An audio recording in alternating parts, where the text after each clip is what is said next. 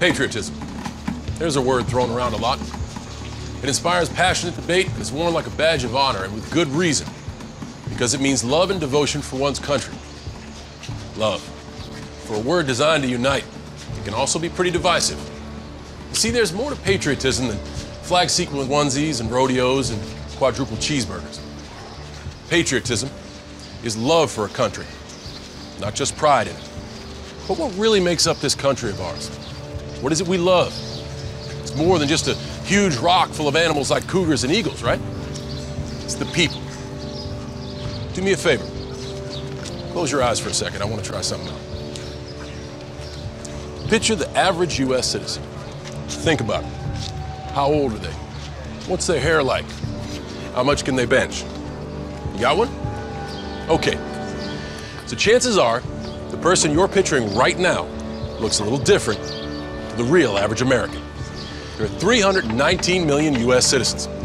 51% are female. So first off, the average American is a woman. Cool, huh? Is that what you pictured? 54 million are Latino, 40 million senior citizens, 27 million are disabled, 18 million are Asian. That's more people in the U.S. than play football and baseball combined. 9 million are lesbian, gay, bi, transgender, more than the entire amount of people that live in the state of Virginia. Around 10 million are redhead, 5.1 million play ultimate frisbee, and 3.5 million are Muslim. Triple the number of people currently serving in the United States military.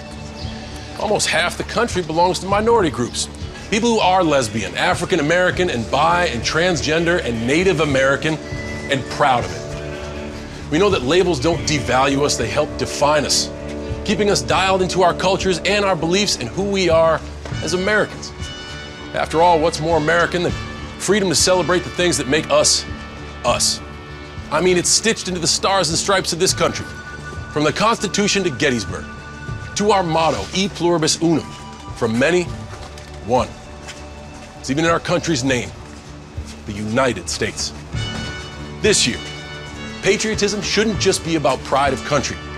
It should be about love. Love beyond age, disability, sexuality, race, religion, and any other labels. Because the second any of us judge people based on those labels, we're not really being patriotic, are we?